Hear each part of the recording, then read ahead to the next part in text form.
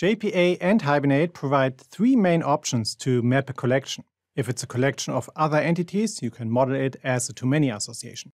This is the most common mapping. But you can also map it as an element collection or as a basic type. In this video, I will show you all three options and explain their advantages and disadvantages. Hi, I'm Thorben Janssen. If you're new here and you want to learn how to create your entity mappings with ease, build incredible efficient persistence layers with Hibernate and Spring, and all types of other Java persistence related stuff, subscribe and click the bell to get new videos every week.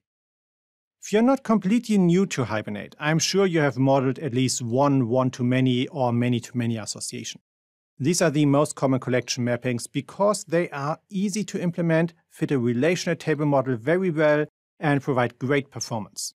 To model such an association in your domain model, you only need to add an attribute of type Java util list or Java util set to your entity class and annotate it with many-to-one or many-to-many. I said earlier that mapping a collection as an association is simple, but that doesn't mean that there are not several pitfalls you should avoid. Let's look at the ones that I see most often during code reviews and project coaching engagements. The most common one is the usage of the wrong fetch type. As I explained in a previous article, the fetch type defines when Hibernate initializes an association. When you use fetch type eager, it initializes the association when you load the entity.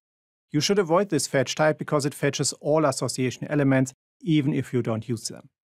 Fetch type lazy is the default for all to many association and it provides much better performance. Hibernate then only fetches the association when you use it in your business code. Another typical mistake is the mapping of a many-to-many association as a Java util list.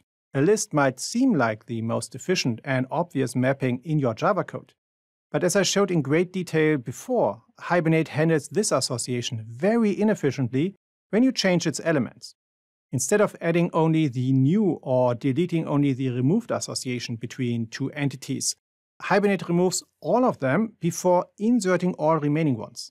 Depending on the association size, this can result in tens or even hundreds of unnecessary database operations and significantly slow down your application. So if your many-to-many -many association doesn't need to support multiple associations between the same entities, better model it as a Java util set. Cascading applies the lifecycle state change of a parent entity to all its child entities.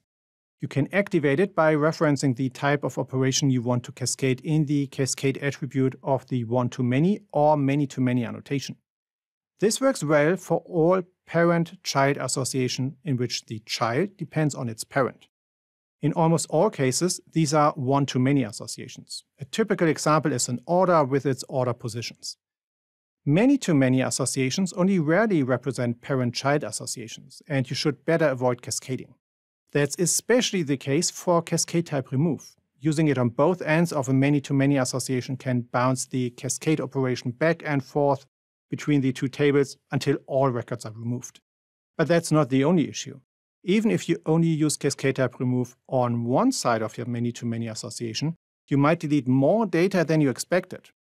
Let's use the example that I showed you before, which activates cascade type remove on the books association attribute of the author entity. If you now remove an author entity, your persistence provider will cascade the operation to all associated book entities. As a result, all of them will get removed. Unfortunately, that includes all books that have been written by more than one author.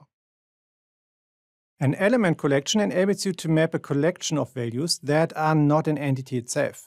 This might seem like an easy solution for a list of basic attributes, like the phone numbers of a person.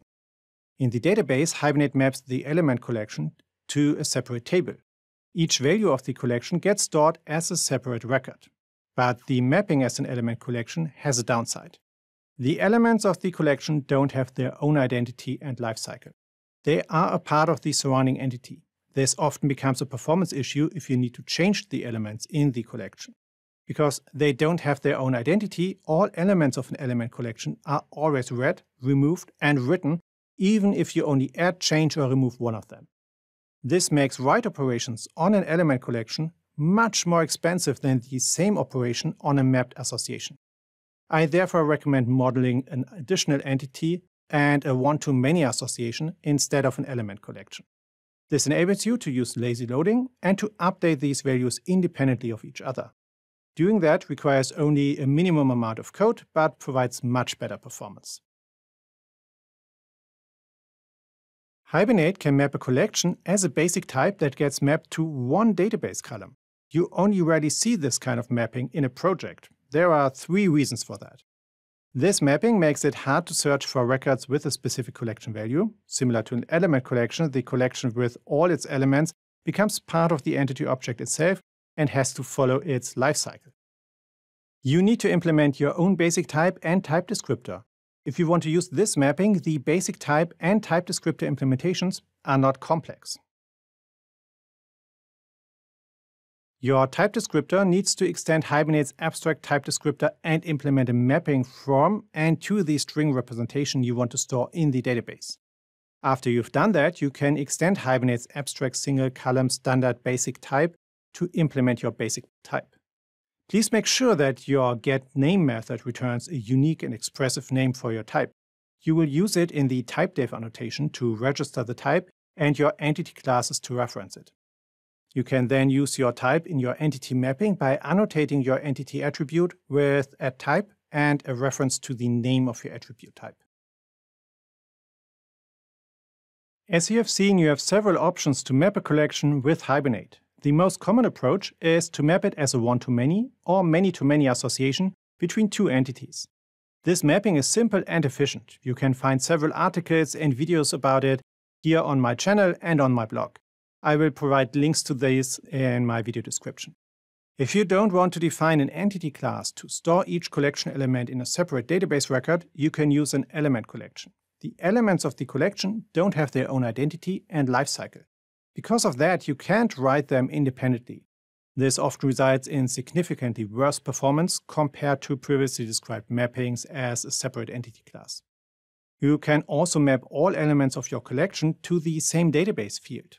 This requires a custom type that merges all collection elements during write operations and extracts them while reading.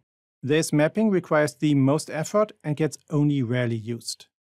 Okay, that's it for today. If you want to learn more about Hibernate, you should join the free member library. It gives you free access to a lot of member-only content, like cheat sheets and ebooks about JPA, Hibernate, and Spring Data. I'll add the link to it to the video description below. And if you liked today's video, please give it a thumbs up and subscribe below. Bye!